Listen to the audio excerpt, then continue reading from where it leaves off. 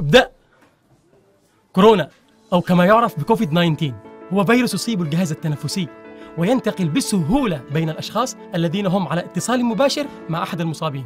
وذلك من خلال قطرات الجهاز التنفسي الذي تنتج عندما يسعل أحد المصابين أو يعطس أو يتحدث. فيمكن لهذه القطرات أن تنتقل إلى أنوف وأفواه الأشخاص الذين حولك وذلك من خلال الاستنشاق.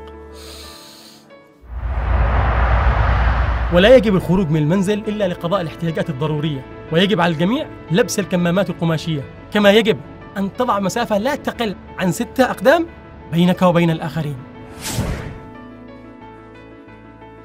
كما لا يجب وضع الكمامات القماشية على الأطفال الذين أعمارهم أقل من عامين. كما يجب الحذر عند لبس الكمامات للأشخاص الذين يعانون من ضيق في الصدر أو مشاكل في التنفس أو الأشخاص العاجزين. عن نزع الكمامات بأنفسهم دون أي مساعدة.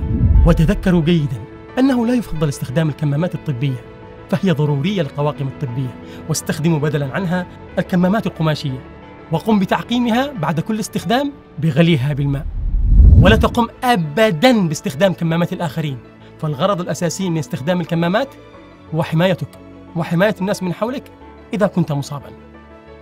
وحذاري أن تلمسوا وجوهكم قبل أن تغسلوها بالماء والصابون لمدة تتراوح ما بين 20 إلى 30 ثانية أو استخدام المعقم.